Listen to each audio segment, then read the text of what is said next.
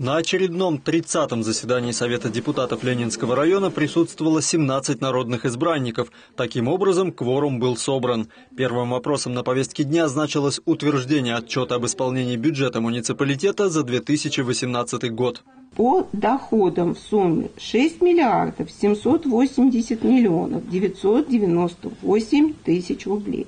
И по расходам в сумме 6 миллиардов 495 миллионов – 467,7 тысяч рублей. После заслушанного доклада депутаты утвердили отчет единогласно. Следующий пункт повестки – утверждение отчета о деятельности ревизионной комиссии Ленинского района за прошлый год.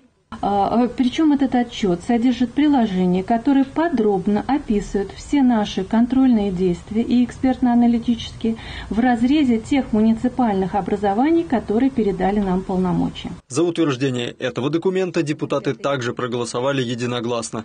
В этом году Ленинскому району исполняется 90 лет. В администрации создана рабочая группа, которая ведет подготовку к празднику, начиная с февраля. По предложению нашего организационного комитета была разработана юбилейная медаль 90 лет Ленинского района для поощрения граждан за достижения в трудовой, общественной, иной деятельности. И подготовлено положение юбилейной медали. Решение об учреждении юбилейной медали было принято депутатами. Сейчас в поселениях района проходят публичные слушания по преобразованию территории муниципалитета в городской округ.